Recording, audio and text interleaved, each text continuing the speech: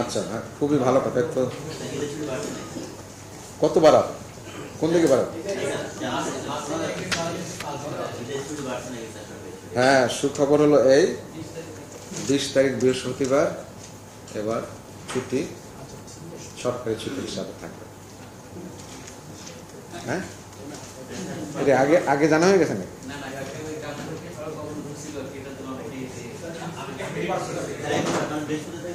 হ্যাঁ বৃহস্পতিবার, তাহলে আমার কারণ বুধবার মানে উনিশ তারিখ হলো সবে কদরের ছুটি।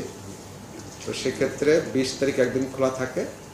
তো মানুষের যাতে যাতায়াত নির্বিঘ্ন হয় মানে তাদের জার্নিটা যেন স্মুথ হয়, এটা ছুটি ঘোষণা করা। জি।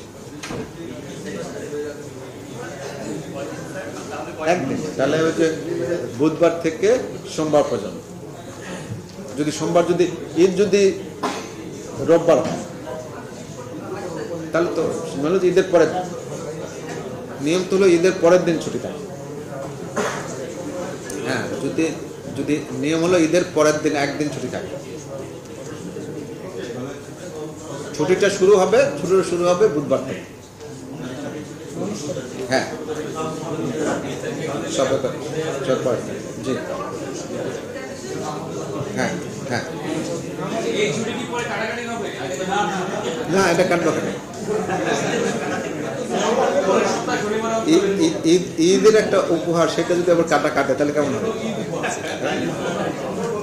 মানে আর ঈদের পর আমাদের যথারীতি আবার অফিস নয়টা চারটা ঈদের পরে নয়টা চারটা। অফিস। নয়টা চারটা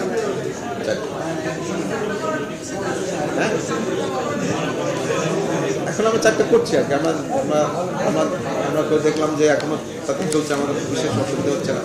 চারটা করছে ঠিক আছে? সবাইকে অনেক অনেক ধন্যবাদ।